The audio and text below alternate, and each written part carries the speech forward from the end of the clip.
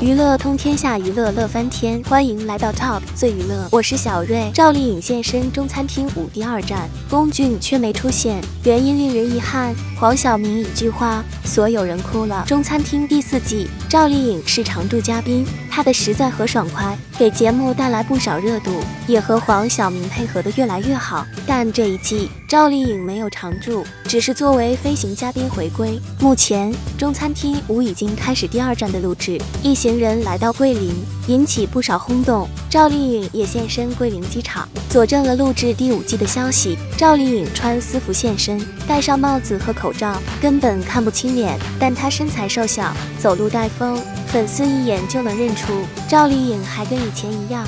走到哪里都带着保温杯，路拜托了冰箱就背着，路中餐厅也不离手，越来越养生了。这次穿了一双粉色厚底马丁靴，走路好拉风。这么大的鞋子显得腿更细了，身板也越来越瘦小。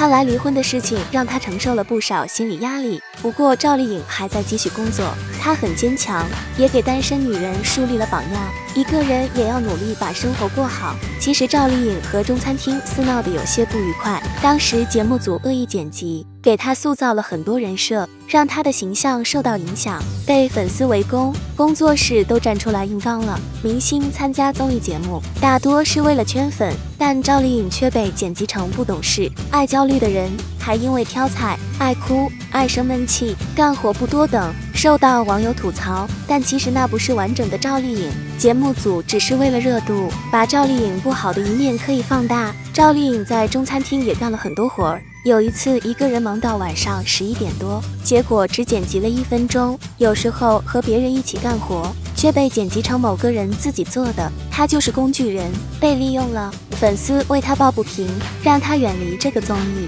没想到才过去一年，赵丽颖又想念这里了。或许赵丽颖比较念旧情吧，毕竟还有黄晓明在，加上节目组也道歉了，他就回归了。得知赵丽颖回归，网友超激动，还以为能看到赵丽颖和龚俊同框了。俊男靓女同框，向来很吸引人。但遗憾的是，赵丽颖来的这一期，龚俊似乎缺席了。在最新路透中，少了龚俊的身影。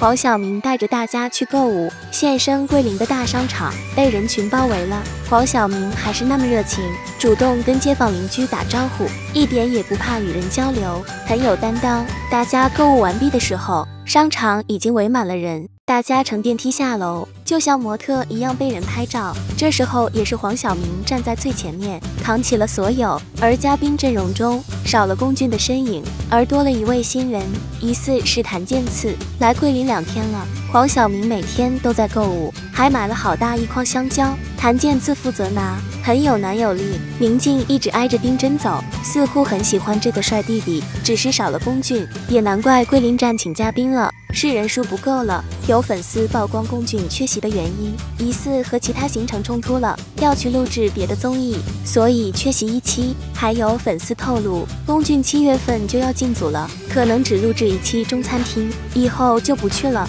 总之，因为行程问题，龚俊不能每一期都出现在中餐厅五，也相当于飞行嘉宾了。好遗憾，不知道赵丽颖这次回归中餐厅五能录制多少期。鉴于往年恩怨，应该也不会待太久。只希望节目组这一季聪明点，别再为了炒作恶意剪辑了，好好做菜不好吗？本期节目就先到这儿，咱们下期再见，拜拜。大家觉得还行的话，帮忙在头像旁边点个订阅，点个赞，支持一下吧，谢谢大家。